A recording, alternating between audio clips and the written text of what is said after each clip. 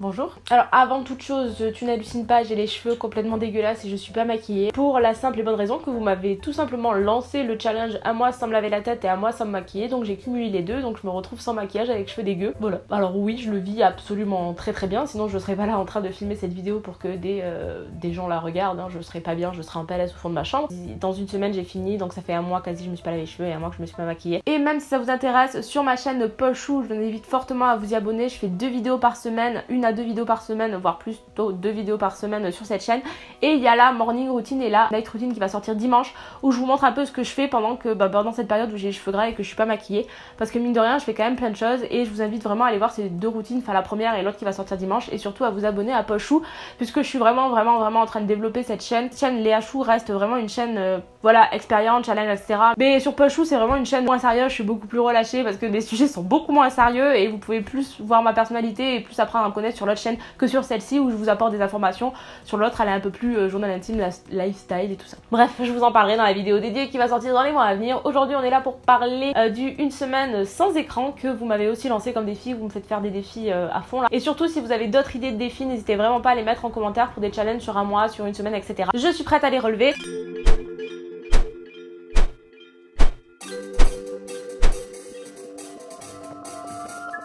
Savoir que quand même je suis sur YouTube et faire un mois complet sans euh, téléphone ou sans réseaux sociaux c'est un petit peu compliqué. Donc j'ai essayé de couper la part en deux et je me suis dit je vais faire une semaine, une semaine, ça a l'air rien mais c'est déjà énorme, complètement sans écran, donc sans PC, sans télé, sans téléphone.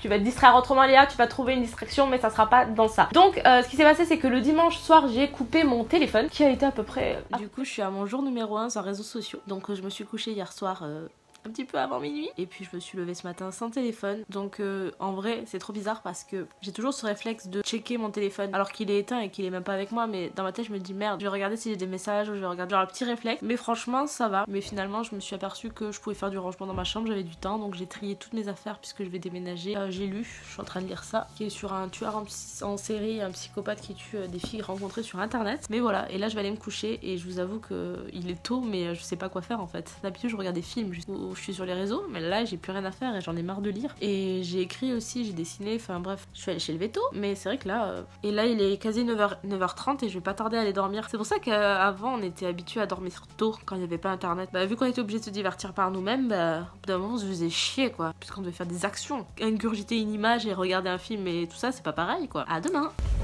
Bon bah ça y est, je sors du cabinet médical et euh, j'ai mon la, ligament euh, croisé. qui s'est fracturé. En vrai, quand il m'a dit ça, je me suis mise à pleurer de ouf. Hein.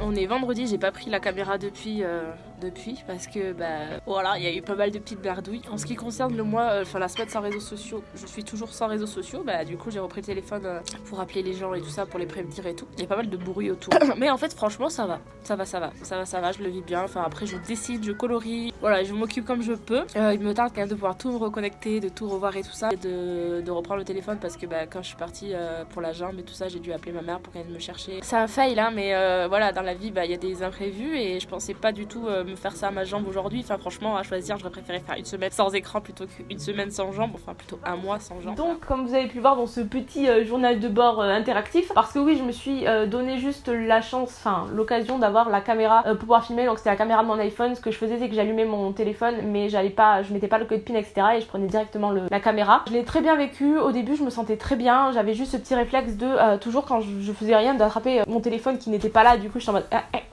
par chance, le mardi, je suis partie euh, en vacances en famille.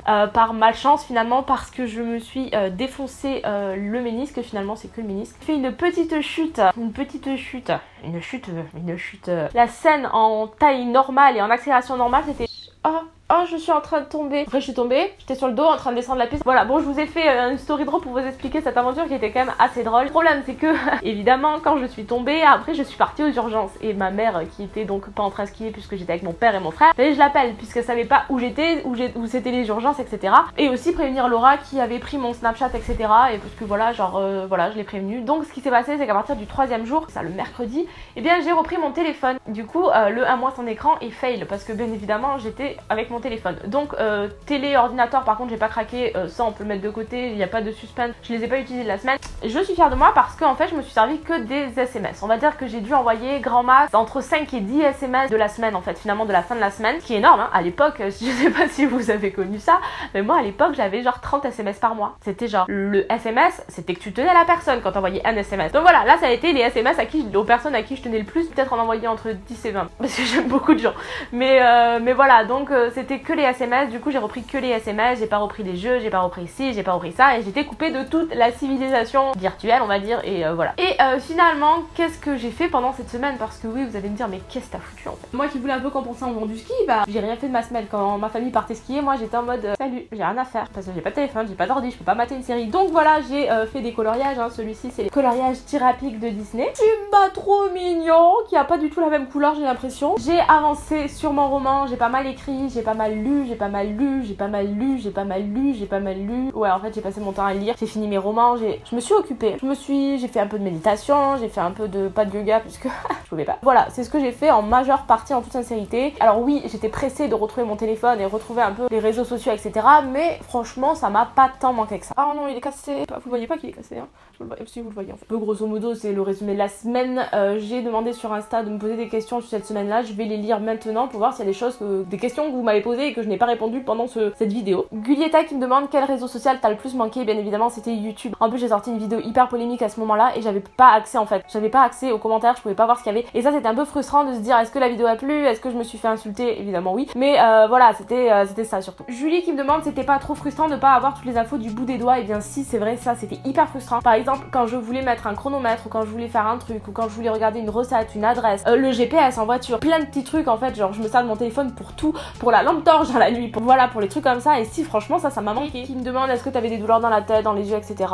Absolument pas. Genre j'ai pas eu moins pendant. Ah pourtant je consomme les écrans mais depuis toute petite. Et après j'ai des lunettes. bah oui vous le voyez pas parce que vous me voyez en mode euh, non là vous me voyez en mode dégueulasse. Mais bon bref quand vous voyez un peu en mode potable je mets pas mes lunettes. Mais en vrai j'ai des lunettes de vue euh, parce que je vois. Heaven Damon me demande est-ce que le temps semblait plus long? Alors oui effectivement le temps semblait plus long. En fait, en toute sincérité, et c'est ce que je me suis rendu compte, je passe mon temps à procrastiner sur mon ordi. Regarder des séries, allez, un épisode, oh non, un épisode, oh encore un épisode, oh Facebook, oh Twitter, non pas Facebook, j'y vais jamais, oh Twitter, oh Instagram, oh si je faisais ça, oh si je me posais, je faisais ça. Mais en fait, j'ai l'impression que genre, je pourrais tellement aller loin et faire tellement de choses, j'avais pas, je passais pas autant de temps sur mes écrans. Parce que oui, bien évidemment, je bosse, mais euh, il y a du divertissement, clairement, et en plus, je joue aux Sims. Alors, les Sims, ça prend du temps et tout ça, et je me dis, en vrai, je gagnerais tellement, je pourrais faire des choses de ouf. Du coup, il faudrait que j'essaye de réduire. Oui, parce que bon, j'adore repousser au lendemain je crois que c'est ma vie procrastination. Vraiment, il y a des gens qui sont toujours motivés à tout et moi, ils me, ils me fascinent. Moi, je suis toujours motivée à rien du tout. Une question intéressante de Bianca à qui je fais des gros gros bisous puisque c'est une abonnée qui est toujours là et euh, voilà. Euh, absolument pas. Pour le coup, euh, je suis très attentive au monde qui m'entoure. Parce qu'en en fait, on va dire que quand je suis chez moi, je suis beaucoup sur mes écrans, mais quand je suis dehors, je suis très peu sur mes écrans. Même à table et tout, je sais qu'il y a des potes à moi qui sont toujours sur leur écran, du coup, bah, je fais pareil parce que, bah, bah, parce que sinon je me fais chier.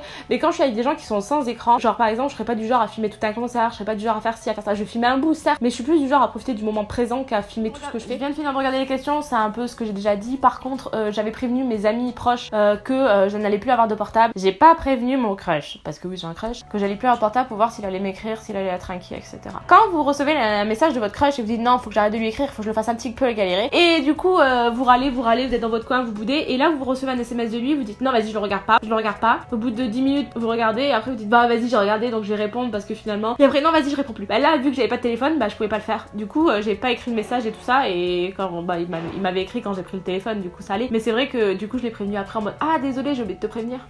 Oui, j'ai oublié de te prévenir. Oui, on la connaît celle-là. J'espère que ça vous a pas trop perturbé que j'ai les cheveux dégueux et pas de maquillage. en vrai, c'est des choses futiles. En bref, c'est un autre débat, mais on peut plus être soi. Genre, faut vraiment être dans les critères standards. Genre, en mode, faut être maquillé comme ci, faut ressembler à Kimka, faut faire ci, faut faire ça. Les gens, ils sont pas abonnés à toi parce que beaucoup s'abonnent parce qu'ils veulent ressembler à une personne ou parce qu'elle est jolie. Et en vrai, genre, je suis passée, genre, je crois que je, suis passée à un mode de je m'en bats les couilles en mode tant pis si les gens ils me suivent pas parce que pas assez jolie ou assez maquillée ou assez ci, à ça parce que j'ai pas une vie assez de rêve. Mais c'est vrai que c'est dommage. Même moi, je sais que personnellement, je suis abonnée à des filles juste parce qu'elles sont jolies c'est débile à dire. Mais voilà, j'essaye aujourd'hui de, voir plus loin et de m'abonner ou de suivre une personnalité avant de suivre un physique. Voilà, je, commence à remettre pas mal de choses en question, euh, notamment sur YouTube et dans ma vie. Euh, j'évolue encore énormément. Hein. Mais c'est tout, je pense avoir fait le tour. Faites des gros bisous et je vous retrouve la semaine prochaine. Ciao